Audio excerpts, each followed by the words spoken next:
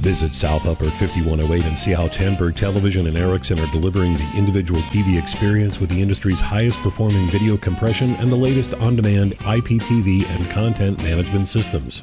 So, I'm Neil Maycock, Chief Marketing Officer with uh, Snell, um, the newly formed company from Pro-Bel and Snell and Wilcox. Um, we're really excited to be here at NAB so soon after our merger, and uh, we have some sort of great products here at the show. And one of the key things we're really keen to demonstrate is uh, how quickly we've been able to integrate the two businesses. Um, the merger made a lot of sense in terms of the product portfolios that we have, and we had very little overlap to deal with.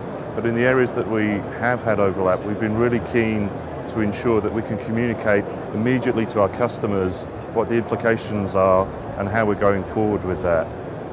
So talking about the product range in general, we, uh, we have some great products and some natural fits. So Kahuna has been a tremendously successful production switcher for us and coupling that with the uh, Pro-Bel router range uh, gives us some immediate benefits and it's a quick win uh, for us and for our customers.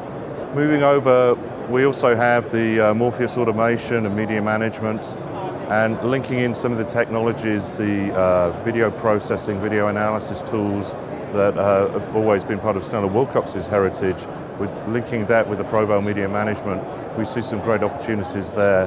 So one of the uh, first things we've done is integration of the Hyperion uh, video analysis tool with the Pro-Bel uh, Media Management on ingest, um, allowing us to sort of automate some workflows in that area.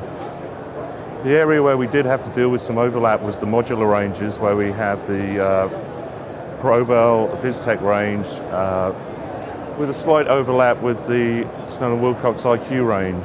But what we've been able to do there is integrate the control, and already we're demonstrating full integration here at the show. So we feel rather than creating a problem for either of our customers, we've actually given them a wider choice where they can mix and match the IQ products with the Vistek products. Going forward, we have a clear roadmap for them to uh, show where new products will be developed, on what technologies, and how the control software is going to evolve for them, allowing them to move forward.